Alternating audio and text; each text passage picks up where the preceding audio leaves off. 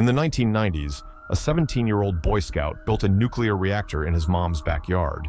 His name was David Hahn, and he did it just to earn a merit badge in nuclear science. He collected smoke detectors for their americium, scraped lantern mantles for thorium, and even ordered uranium ore through mail order catalogs. Piece by piece, he gathered radioactive materials like it was a school project.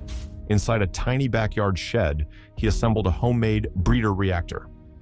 At first, the radiation was low, but soon it grew strong enough to set off Geiger counters miles away.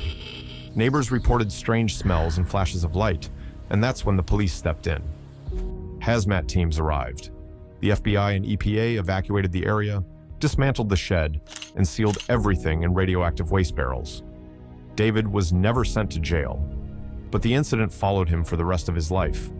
He struggled through adulthood and died at just 39 years old, a brilliant kid with a dangerous dream, who nearly built a nuclear reactor in a quiet suburban backyard.